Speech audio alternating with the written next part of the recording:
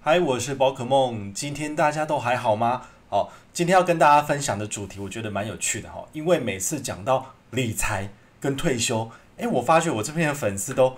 兴趣缺缺，很奇怪哦。就是说看那个点击率啊，文章的点阅率，诶，就马上就陡降哈。但是如果你讲到信用卡的，就超爱，我就不知道为什么。但是我觉得这是一个很有趣的这个所谓的呃现象哦。今天就是呃用一集的内容来跟大家聊聊为什么会发生这种事情。好，来，那今天的主题就是为何讲到理财退休，大家就兴趣缺缺？难道是因为那个影响了大家的那个这个观看的这个行为吗？好，今天影片的重点有三个。第一个，宝可梦在七月十八号当天一共发布了三支影片。那这三支影片其实走了一天之后，它的这个所谓的呃。流量好已经出来了，也直接跟大家就是分享一下，说二十四小时之内它的流量到底是往哪个方向跑哦。那第二的话就是跟聊跟大家聊聊这个快速爆长跟长远爆长系统，在我们的基因里面呢，哦已经被定下来的这个呃，应该说是已经写完程式，然后已经内定在我们这个行为模式里面的这个情形，好，它到底是一个怎样的系统，会跟大家介绍到哦。那第三的话就是到底要怎么做才能够让自己正确的。而且呃，勇敢的去面对我们的的理财或者是退休这件事情，因为不管我再怎么讲，喊破喉咙还是没人理我。好，所以这是今天要跟大家聊的。好，来第一个，我在十八七月十八号的影一共发布了三支影片哦，然后这个现象观察部分来给大家看一下这呃三个。好不好？三个影片的结果，第一个是我自己的 Vlog 系列，哈，蛮有趣的，就是跟大家聊聊，诶，我生活中的一些开心的事情。那这件事情显然就是大家都没有兴趣想知道哦，不知道为什么，但没有关系。我觉得开发一个心理系列本来就是需要时间，然后来跟大家做沟通。包括我以前只写文章，后来就是诶，粉丝页啊大放异彩，然后现在 IG 也在经营，然后现在跨到 YouTube 频道，其实每多一个频道就是要重新经营。好，那我相信多开一个系列，应该也是需要花时间跟大家沟通，人家才会爱看哦。所以这个我是无可厚非，所以它的成效最差，这个我可以理解啦。哈。就是呃，影片 推播出去的点击率只有百分之一点五，每一百个里面只有一点五个人就是有兴趣这样子。好，观看时间就是呃两分钟以内就跑掉了。那再来的话呢，呃，我第二次第二部发布的影片就是这个我们的永丰必备卡十二趴回馈，哇，它这个。非常惊人哦，就是观看次数已经超过两千多次，哦，这个二十四小时之内真的是很多很多人就点来看哦。那它的这个曝光率的话，大概是点击率是十百分之十，它意思就是说这两千个人哦，就是只要有这个 YouTube 推播出去，就是马上就有两百个人看哦，所以就是十分之一哈，所以这个比率也是非常非常高哦，因为平均大概一支影片大概是。五点六到七趴就已经算是平均值不错的了哈，但是大家的观看时间明显的变低了哈，就是这个数字四点二三分钟，意思是说这支影片长达二十六分钟，但是只有大家只有耐心看完四分钟，然后就跳掉了，好，所以这是一个平均的数字的部分。那当然一定也有人从头看到尾啦，但是也有人说不定只是进来看到他想要看的，然后没有耐耐心就走掉，这也是有可能。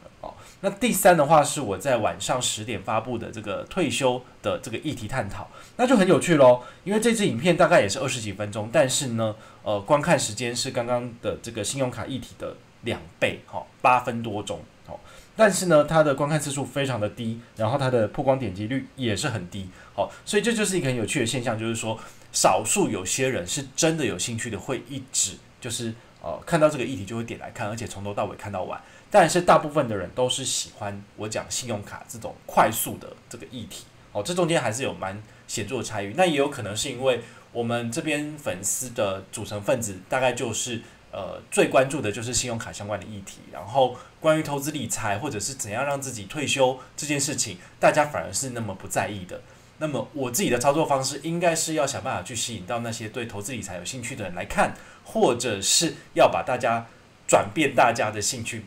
去了解投资理财，我觉得这是很困难一件事情，因为大家就是都已经是成年人了嘛，吼，所以你也不可能说我叫你看这个你就看这个，所以这是很困难一件事情。但是呢，这也是我发现我的粉丝受众其实最喜欢的还是跟信用卡省钱有关的议题这样子，好，所以这边的话就是我用了简单两句话跟大家讲哦，大家喜欢看的是信用卡分析，大家不爱看理财跟退休探讨的相关的议题的影片。好，大多数人对于长期改善生活品质的内容是不爱看的，好，是处于一种所谓的漠不关心的状态。但是有少数人是愿意花更长的时间来去观看我讲述的议题，并且去理解。好，那当然这是一个好事，也就是说，只要这个受众的人越来越多的话，那就代表说大家越来越重视自己的财务问题如何。退休规划管理，这就是很重要的一件事情。那再来的话呢，就是要跟大家聊聊第二个主题，是所谓的快速爆偿跟长远爆偿系统，这个到底是什么呢？好，我们往下看就知道了。哦，这是一只这个狮子、老虎之类，哈，这个就是掠夺者。哈，大家看到这个是不是哦，就会开始有一点点紧张哦？虽然说它是只是一张图片，但是在我们的远古记忆里面呢，哦，其实它就是我们的天敌。那么它的确是有可能猎捕人类，然后让我们就是死于非命哦。所以，呃，看到这个照片呢，其实我们的内内心里面就会开始紧张哦。那这个部分其实就是我们内内在基因所呃呃从以前远古以来就一直定序在里面的，因为我们早期本来就是从比如说非洲这边，然后慢慢的发迹，然后来到这个呃迁徙的关系，来到世界各地。好，所以我们的内在的基因里面其实还是一样，就是说我们对于这种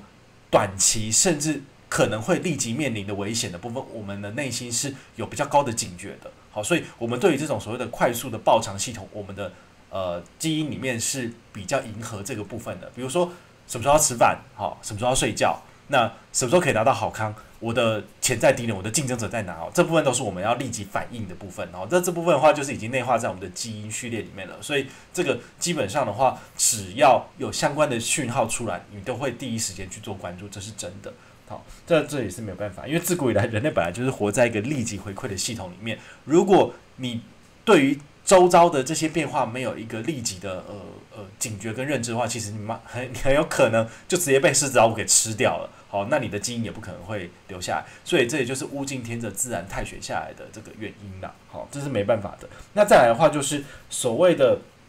长远哦，长远的部分到底是什么意思呢？等下会解释哦。这个自古以来，其实我们就活在一个立即回馈的系统里面。我们面对生死攸关的抉择，包括战或逃。当我们发现身边有风吹草动的时候，我们是要拿起我们的武器，然后来跟这些动物对决，还是说我马上就逃跑，逃到树上，让它抓不到我们？好，这这这是一个很大的人生的这个所谓的生死攸关的抉择嘛？那再来就是要吃什么，要睡什么？我们的猎食者在哪？这就是我们基因里面哦，会一直不断的在这个每天在在精炼的一个一个情形啦。好，但是现代的话当然就不一样了，因为这一一两百年来，其实我们人类做了很多很多的发明，包括汽车、火车。飞机、电视、个人电脑、哈网络，我们现在你用手机在看这支影片，其实都是最近一百年以来的发展，甚至连信用卡也是。那这些东西其实它设计的机制跟我们的远古的这个脑内的结构其实是呃非常的不一样的这个东西，因为这都是很近、很近、很近才发才发展出来的这个新的产品，包括金融产品也是一样。所以我们的远古的脑袋其实是没有办法有这个相对应的，这应该怎么讲？就是。经过基因探选的关系，然后来去找出，诶，对这件事情能够有正确反应的的的的这个呃呃基因或者是优势留下来。所以现在的我们还是用很古老的这个脑袋呢，然后来应对我们现在的这个所谓的呃瞬息万变的这个世界。好，所以我们的长远报偿系统其实都还没有建立起来，因为我们基本上我们天生内定就是觉得，诶，现在有好康，现在就去拿；现在有什么优惠，就应该要立马去拿。那有钱在身边就直接就拿来做消费了，所以对于我们一般人来讲，其实是很难去做一个长远的规划，因为我们就是比较喜欢现在现在的这个东西，对我们来说，它的诱因就永远是比较大的。比如说之前有那个科呃心理学家，他们有做过一个有趣的例子，就是叫小朋友来这个一个空间，然后跟他讲说，哎，你这边有一个棉花糖跟饼干哈，在这个你的面前。那你现在吃的话呢，你可以直接吃掉。但是如果你等我们三分钟，好，我们出去之后再进来的话呢，你都还没有吃掉，我们就给你三个，好，就是一倍变三倍，好，就是我们这个三倍券的概念。然后呢，科学家就在旁，就门关起来就离开，然后他就在旁边的小小小的观察室那边去看这些小朋友的这个他们的行为。有的小朋友实在是忍受不了这个诱惑，好，就是被远古脑袋的的这个思维给。给这个控制住了，就拿来吃了。但有的小朋友他就是展现了他自己惊人的意志力，看他就是看其他地方，或是玩玩那个手指头，或是玩头发，就不去理这个前面的诱因。那么他经过了忍受了三分钟之后呢，诶，那个工作人员进来了，然后就发给他三倍的糖果。这不就是那个很有趣的一个实验嘛？所以其实呃这件事情。不只是对我们成年人，对小孩子来说也是一个很大的挑战哦。所以这个你就可以看到说，这个所谓的长远报偿系统，到底我们人类可不可以去思考？比如说三分钟以后我可以拿到什么好处？我可以牺牲现在要享乐的这个诱因，然后来去换取。稍稍远稍久之后的回回馈，包括我们现在所谓的这个所谓的投资，好，把现在的钱都省下来，现在过得很辛苦，但是五年十年后我会过得比较轻松。这种这种想法其实也不是每一个人都能够接受跟愿意去做的，因为就是大家基本上可能都比较喜欢及时行乐吧，好，所以讲到投资理财规划或者是有钱要怎么规划，大部分人可能不假思索就直接把它花掉了，好，这种人是比较多的啦。好，所以这个长远报偿系统的话，就是我刚刚解释的这个样子。举三个例子，好，第一个就是我们知道吸烟对身体有害，但是为什么还是有人要大抽特抽，不愿意戒烟呢？好，第二个是我们都知道过度饮食会造成肥胖的问题，但是为什么很多人还是不知节制的狂吃狂喝，让自己的身体变得很胖呢？好，第三个就是如果现在开始存钱，而且努力存钱的话，十年之后你就会有一笔丰厚的这个退休金。那为什么你现在不存钱呢？好，这就是一个呃及时报偿系统跟长远报偿系统之间在我们的内心里面在做纠葛。好，这个是很令人觉得啊，好好挣扎的一个决定哦。那我这边直接用这个所谓的二分法的这个这个优优点跟缺点来跟大家解释。比如说，第一个，吸烟对身体有害，为什么有些人还是大抽特抽？当下的奖赏就是。我可以降低压力，我可以解除我的烟瘾。那我现在就是很需要来一口烟，好，所以在这种情况之下呢，那你当然就选择抽烟。那抽烟的一些副作用当然就会持续的累积在你身上。也许当下的你不会觉得身体有什么异状，但是五年、十年后，你的肺可能就烂掉、就坏掉了。好，所以未来的奖赏、延长寿命、让你的肺更加健康这件事情，对你来说你是无关痛痒的，因为你只看到当下的当时奖奖赏这样子。好，所以这就是呃长及时当下的报偿系统跟未来长远的报偿系统，在我们人类行为抉择上面很重要的影响。如果你能够想的比较远，你能够去忍忍住你现在当下想要享乐的冲动，那么你将来的确是有可能过着更美好的生活的。好。那第二个的话就是，诶，过度饮食的部分也是一样。好，你当下的奖赏就是，诶，有些人是靠吃来疏解压力，或者是要满足口腹之欲。好，这些有种种不同的原因让你去大吃特吃。好，这是你当下想要得到的奖赏。那未来的奖赏是什么？如果你现在就是开始节制节食的话，也许你将来身体会更健康。那么你会远离第二型糖尿病。好，这些身体可能会产生的病变的部分都不会，呃，因为。你现在大吃大喝而产生这个问题，因为你现在只要开始正常饮食、节制饮食，好，正常作息，那么的确，你将来会有一个比较长远、长寿的人生在等着你，好，这个是一样的道理。好，那最后的话就是我们的重点嘛，好，叫你现在开始存钱，为什么这么困难？为什么大家都不愿意做这件事情？因为当下的奖赏就是每个月固定的薪水进来，好，每天都去上班，固定月底月初的时候有钱进来，好开心哦。花钱非常爽哈！我现在有最新的手机，我就是要去买；有最新的的产品测试，我就是一定要去买啊什么的。三 C 的产品啊，哈，这些都是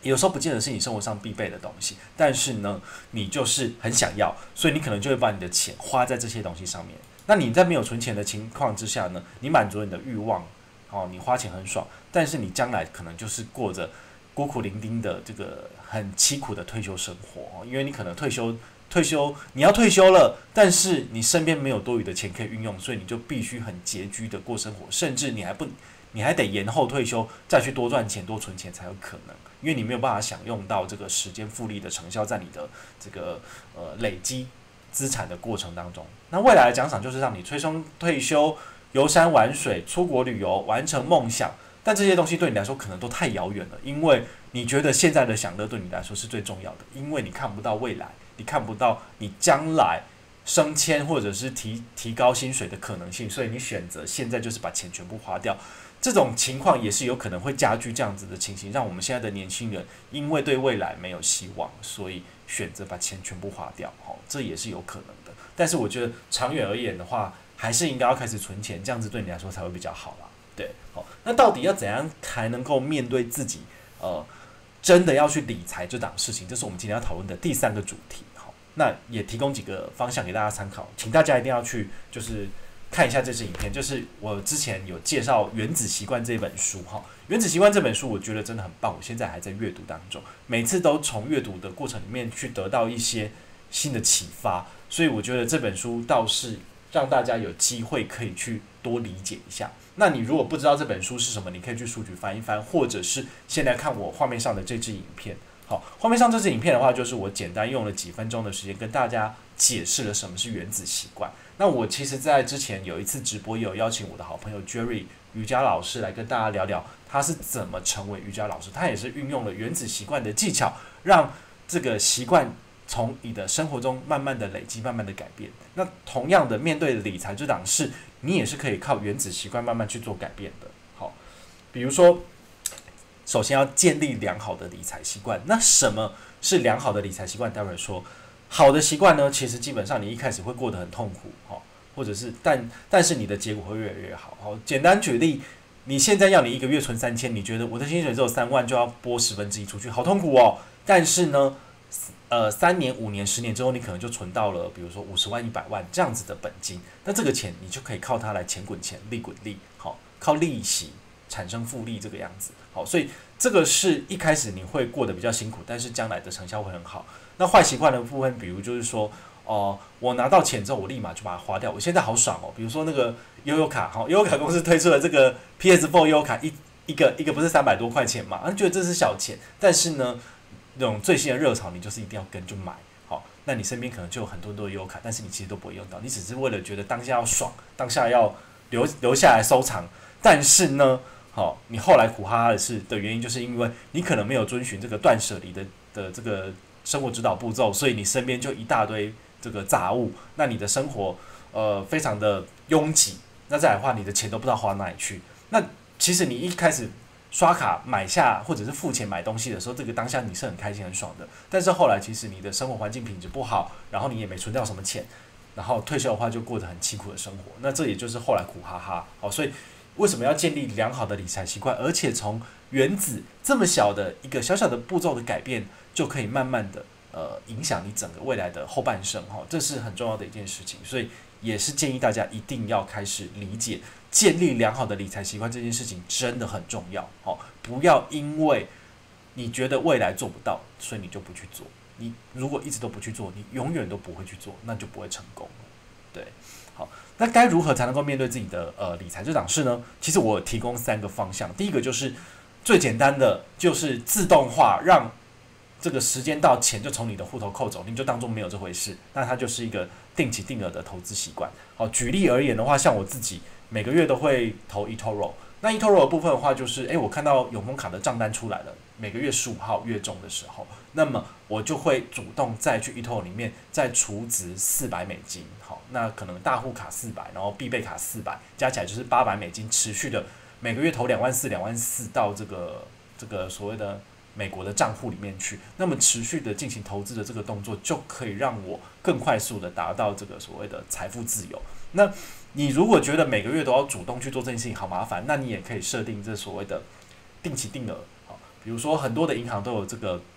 零存整付，你也可以去参考，然后去研究一下，看哪一个适合你，然后去申请下来使用。我觉得这个也是很不错的做法。好，那你只要养成时间到钱就会被扣走，你也觉得呃不生活上不会很痛苦的话，那么这件事情长长久久走下来，的确你是可以存得到钱的。好，所以用这个改变这个小小的习惯开始，好，原本都没有定定时定额或者是呃零存整付这个存钱习惯的人呢，先从第一个动作做起。当你每个月习惯被扣钱之后，你就可以增加你的额度。比如说，原本每个月只扣三千，但后来可不可以每个月扣五千，每个月扣七千，每个月扣一万就可以了。好，你就可以越存越多。那第二个就是也请你要习惯去看一些投资理财的文章或影片，好，不要看到这些。东西，然后你就就是看像看到毒蛇猛兽一样，就是哎呦就跳跳掉了。这样对你来说其实是很吃亏的。好，去增进你的财商哈，这个 financial 这个 quotient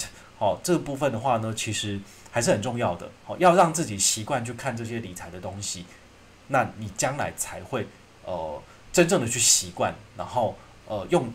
真正的这所谓的理财的思维去看待万事万物。简单举个例子，像我自己本身呃早期信用卡我很喜欢，但是我后来为什么会慢慢的转往理财方向走？因为我知道。呃，如果你不靠钱替你赚钱，那么辛苦的是你。好，你应该是要轻松的过生活，让钱辛苦的替你赚钱，而不是你辛苦的赚钱，然后让钱轻松的放在银行里面。你错了，你的钱应该是要放在市场里面的。好，就是这个样子。好，所以也请大家一定要习惯的去理解任何的投资理财相关的文章、影片，都要多多去涉略。那最后的话，就是也请大家一定要养成这个所谓的阅读的习惯。好，我这边刚好也跟大家介绍一下我。前几天去 Costco，然后我买了这本书《经济学的思考模式》，哦，蛮厚的一本。好，我是觉得在 Costco 买书真的也是便宜啦。好，那也请大家就是，呃，不要放弃任何阅读的机会。有时间就是赶快，像我后面这一整堆全部都是书，那就是我会尽量的找时间去阅读。也许我的时间很少，但是我一定会挤出时间来去阅读。因为如果我不读书的话，我就没有办法给大家。更多的资讯，哈，这东西都是要经过我自己消化之后，然后再回馈给大家的，哈，这是三个要点，提供给大家参考，请就是开始要去认真面对理财这件事情喽，好，那最后就是宝可梦金句啦，哈，我们每一次的影片后面都会有金句来提醒大家，这一支影片看完之后，你应该会有什么收获，哦，积千万里不如养个好习惯，好，这就是我们今天的重点，你在你了解到我们自己本身，呃，我们。基因上面的限制会让我们永远都是短视近利，然后要想要享受的是线下当下的美好跟呃这个